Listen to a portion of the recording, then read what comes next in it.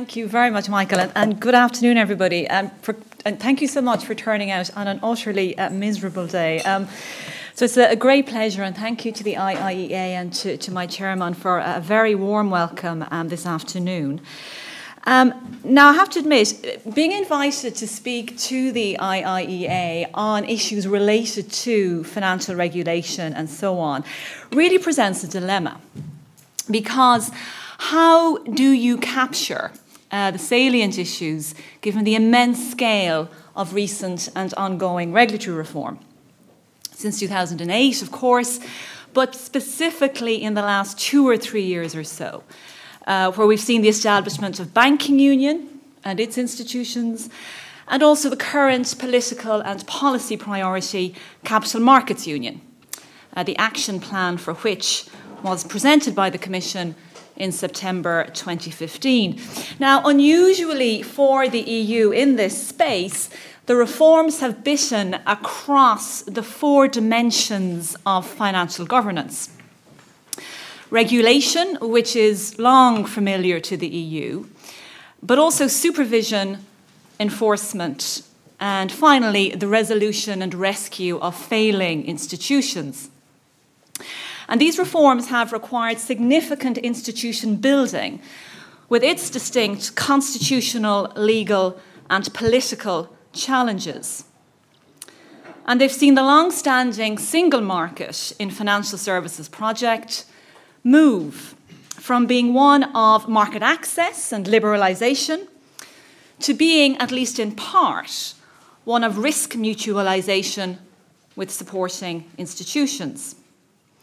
And this last development has the potential to significantly disrupt the single market through the construction of distinct financial governance arrangements for the euro area. So the scale of change has been vast the likely outcomes are still a matter of intense speculation, and empirical evidence is only slowly emerging. The balance of competence between the EU and its member states has been radically changed, and the strain on the underpinning constitutional and administrative law of the EU remains intense.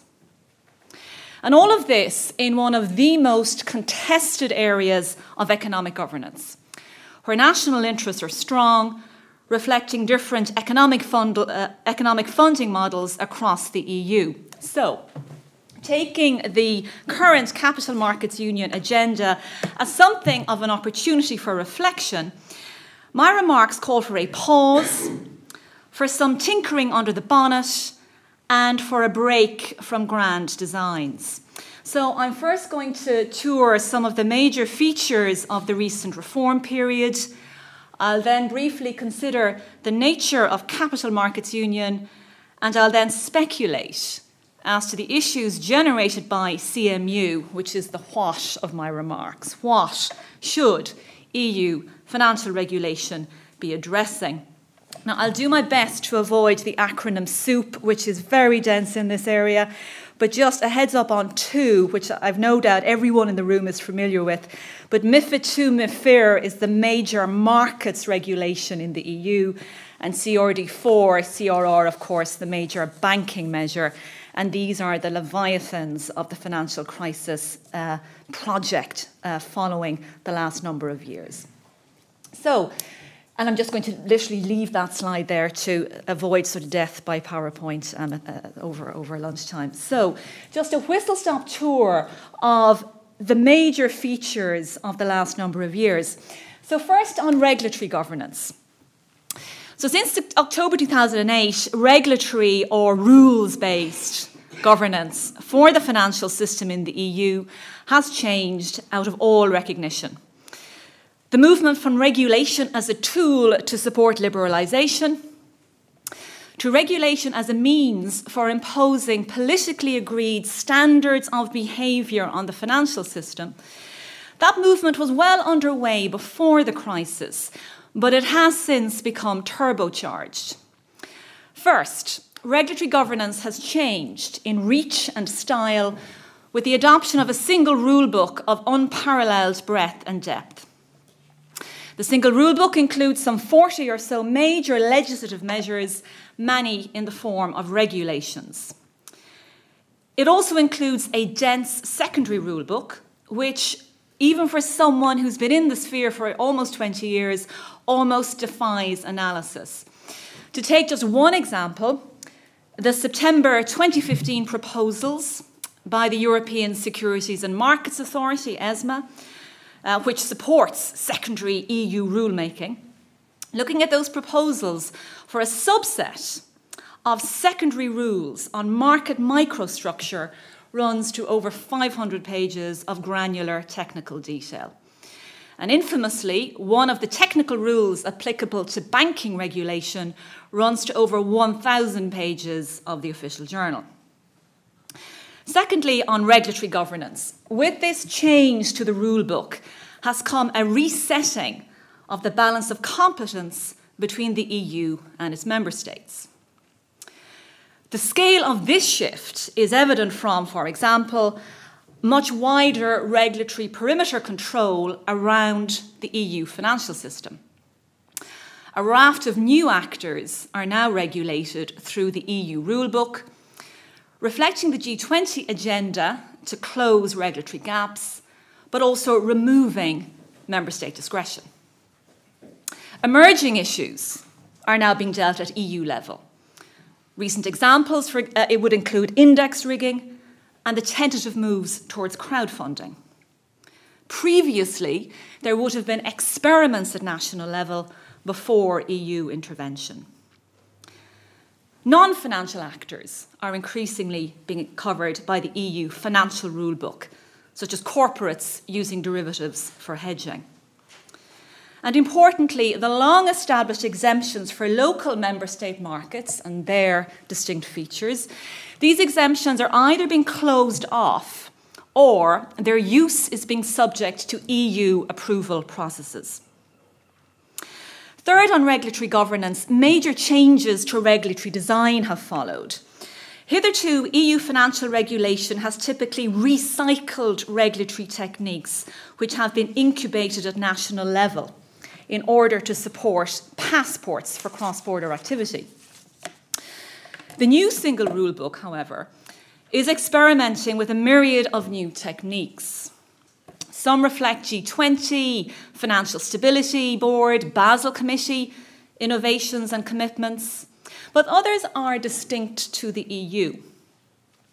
If we take examples from MIFID II, MIFIR, markets, and CRD4, CRR, banking, these innovations include the new market microstructure rules under MIFID II, the new product intervention and product governance rules under MIFID II, and the bank governance and pay rules under CRD4. And fourth and finally, there has been a change in ambition.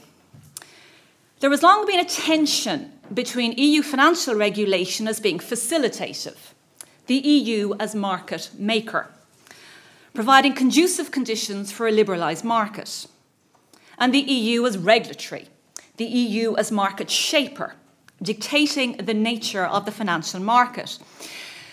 Now, over the crisis, there are deeply rooted tectonic plates under the single market in financial services, and which mark sharp differences across the member states, reflecting different varieties of capitalism. These began to move, revealing the depth of difference with respect to, for example, the appropriate intensity of financial market development, the level of financialisation which is optimal, and the relative balance between bank and market finance. After this period of conflict and contestation, we now have a regime of distinct market shaping quality. MIFID II MIFIR, for example, dictates the levels at which equity, bond, and derivative markets are deemed to be liquid or illiquid.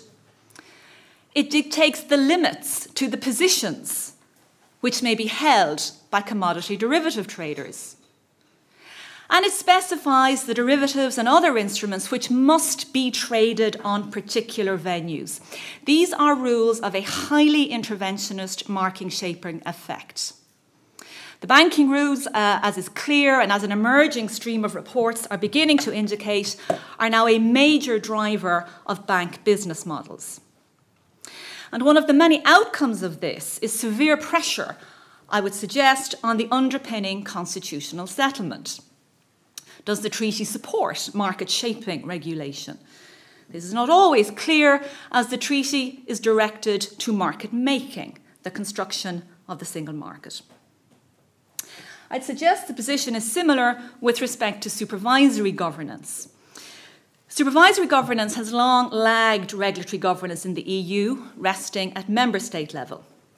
But this has now changed dramatically, in part because of the related and seismic institutional reforms.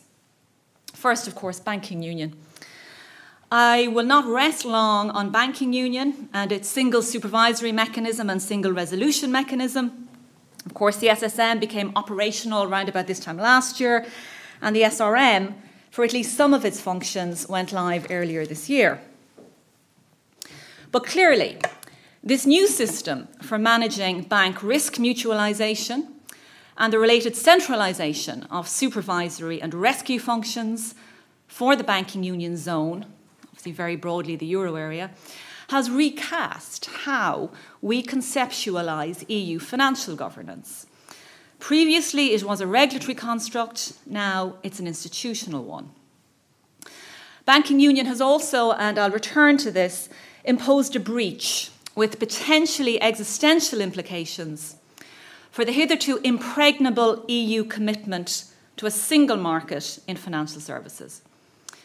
This commitment has been a, a uh, policy priority as far back as 1966 with the Segré report, which launched, in effect, the whole single financial market project. Now, secondly, on supervisory governance, sitting, I would suggest, very uncomfortably, operationally, politically, and constitutionally outside the banking union structures, and with oversight of the wider single market more generally, is the European system of financial supervision established in 2011. This is composed of the national authorities who anchor the system, supervising rules, enforcing them, the three European supervisory authorities, the ESAs, EBA for banking, ESMA, capital and securities markets, and EIOPA, insurance and pensions. And these three ESAs carry out a range of tasks supporting the Commission on technical rulemaking and more generally supporting supervisory convergence and coordination. And then with a horizon scanning function over the whole, the European Systemic Risk Board reviewing for systemic risks. So, how might these changes to supervisory governance be characterised? I would suggest four features. First, by incrementalism and momentum. The ESAs, for example, are highly dynamic, and since their establishment in 2011, have been slowly but fairly inexorably acquiring more power formally and informally. Secondly, they're characterised by expediency. Potential treaty and administrative law obstacles have been worked around, with often ingenious solutions to achieve, uh, to achieve political outcomes. But these solutions may prove to be unstable. Third, by difference. The banking union structures are centralised. They're driven by risk mutualisation and in particular, mutualisation of the costs of bank rescue. The single market structures are not. They are network based, and their concern is not risk mutualisation, but the stability and effectiveness of the single market. And their operating model is coordination and cooperation, not centralisation. And finally, I would suggest that supervisory governance has been characterised by very strong centrifugal effects. The dynamic development of the ESAs, for example, shows signs of leading to much stronger convergence in supervisory practices across the EU. While banking union may, although I don't think in the short term, drive further centralisation. So, turning to capital markets union, where is it after all of this since 2008 or so? Well, it builds on the crisis era reforms Um, but its concern is market efficiency and the capacity of the EU financial system to support growth. It seeks to diversify sources of funding away from banks to capital markets to strengthen funding sources, particularly for SMEs, and thereby to secure greater financial stability. Now, the strengthening of market based funding for the EU has been a policy concern since 1966. This is not new. Neither is the capturing of this concern in a distinct policy agenda with political backing. We've seen this before the crisis under the Financial Services Action Plan 1998 99 and over the crisis in measures such as the SME growth market, new trading venue set up under MIFID II. CMU is also a distinct regulatory agenda. It assumes that law can drive, or at the very least facilitate, particular forms of funding. It has two flagship projects. Uh, the first, simple, transparent, and standard securitization, essentially designed to kickstart the sluggish uh, securitization market and free up funding capacity for banks. And then also reform of the Prospectus Directive, which governs how companies access the capital markets. But it has a very wide range of other measures, from fund reform to covered bonds to market infrastructure. Thus far, it does not have a distinct institutional or supervisory element. It's based on standard single market arrangements and, in particular, on rule harmonisation. So it's very different to banking union. Banking Union is an institutional project designed to support risk mutualisation. CMU is really about risk diversification and about harnessing market forces to support a single market in fundraising using long standing single market devices. I would suggest that the CMU agenda is something of a hodgepodge of the mundane and the aspirational, the specific and the general, the short term and the long term. Its focus is narrow if its ambition is transformative. But it may, depending on the relationship between CMU and financial union, whatever that may be, have disruptive effects on the current settlement governing the single market in financial services. So, turning to my last uh, set of comments as to the implications of all of this. I think the first issue which arises is one of characterisation. What is being constructed with Capital Markets Union? Is it a CMU, a capital markets union, based on the single market and its arrangements, or is it more of a grand design, a more centralised financial union with distinct institutions which displace those of the member states? This goes to the heart of the current and growing tensions between the euro area and the single market, and the difficulties with multi level governance in the financial area, which have been opened by banking union. Now, CMU is currently being expressed as a single market agenda. This is very clear from the Commission's agenda and just a few weeks back in a supportive European Council resolution. Similarly, the policy trail suggests that there is no Commission appetite, and certainly very little appetite from the ESAs themselves to have their coordination powers radically increased on the lines of the banking union reforms.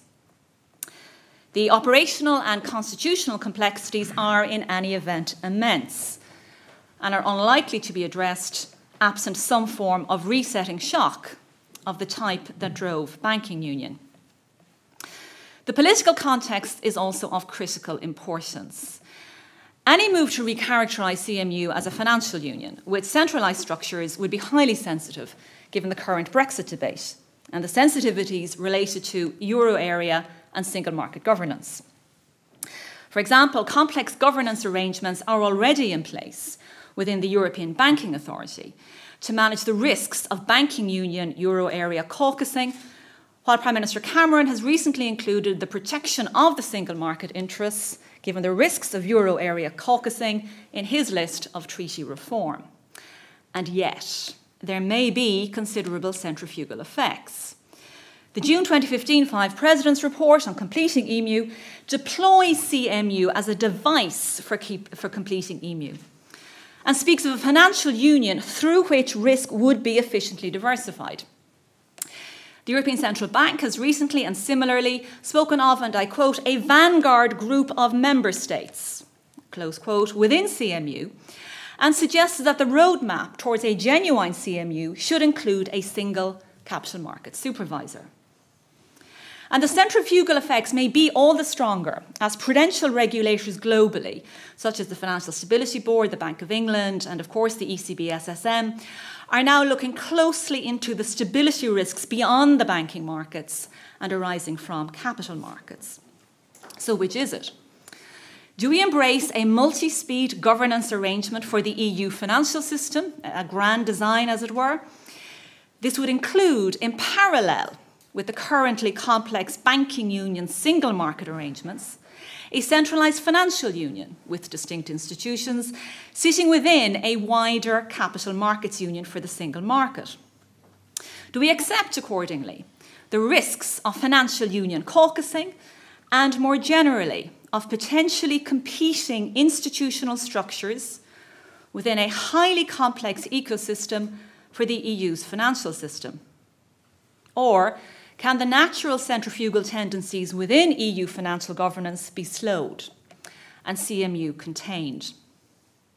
The latter is certainly the safer route, particularly as it is not yet clear what the effects of the crisis era rulebook are, or indeed how governance arrangements for the EU capital market can best be organised.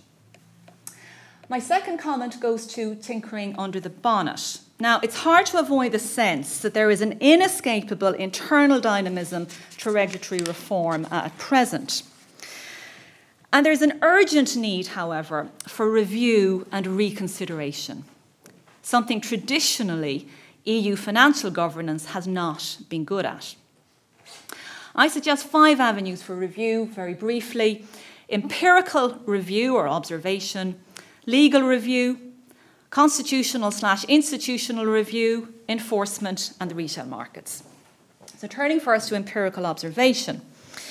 So, the period since 2008 has been the first time the EU, and indeed any other global uh, uh, financial system, has engaged in such a programme of intense reform with untested tools and with such potential for market change. The massive market shaping MIFID II MIFIR on market regulation is now very likely to have its implementation date pushed back from 2017 to 2018, underpinning the scale of the challenge and the technical difficulties. The empirical evidence on effects is just beginning to emerge, and the Commission over the summer has launched a number of important studies. The important review clauses, which apply to all the crisis era measures, are just beginning to activate and will continue to do so over the next five uh, years or so. 2017 to 2020 will see one of the most important data sets ever produced on the interaction between regulation and the financial market. As CRD4, CRR effects become clear, and on the market side, the impact of MIFID II's market shaping becomes clear.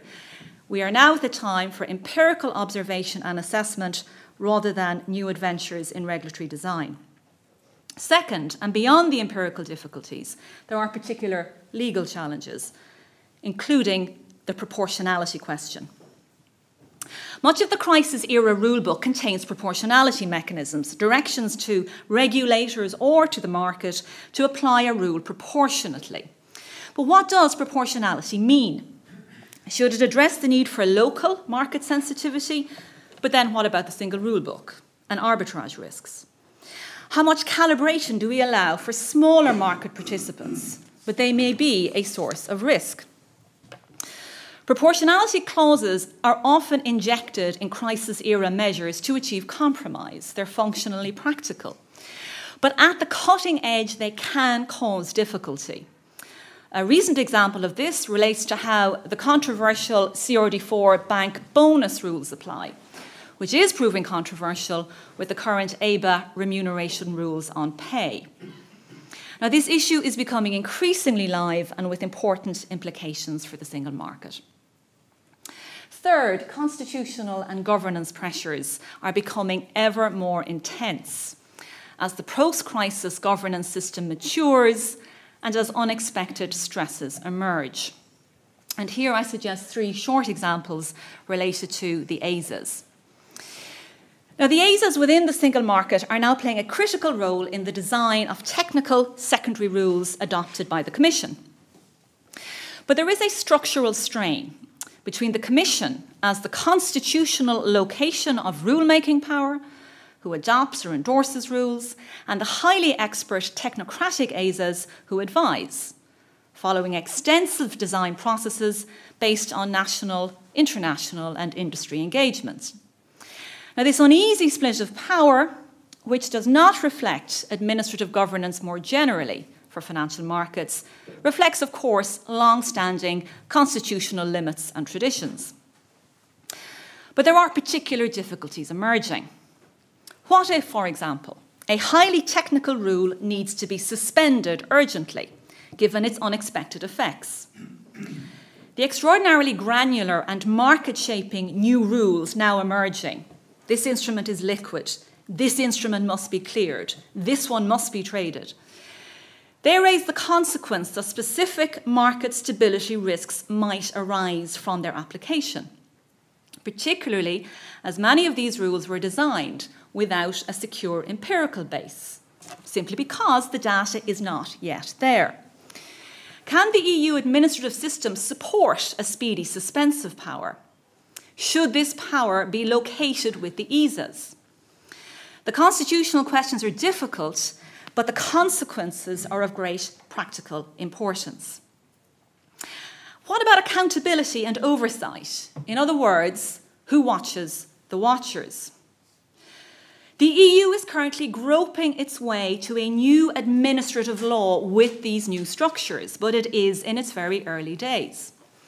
The ESAs are increasingly, for example, exerting direct operational influence on how national supervision is carried out. Now, I do not suggest that this pressure towards a European approach to financial supervision is not functionally optimal. It may well be. But good administrative governance for the financial system requires political oversight of administrative actors. And this applies all the more as governance shifts to the EU level and in such a contested area of economic governance. EU level accountability, however, is typically designed to reflect the treaty balance of power and the interests of Member State Council, Commission, and the Parliament. But accountability over granular operational decisions impacting the financial market requires closer scrutiny. Should we be designing new oversight boards, new accountability structures, as the ESAs become more powerful? And if so, how do these fit within current treaty constraints? Now, there are multiple ways of thinking about accountability. A lot of work has been done on the international financial governance test case, for example, but a debate is needed.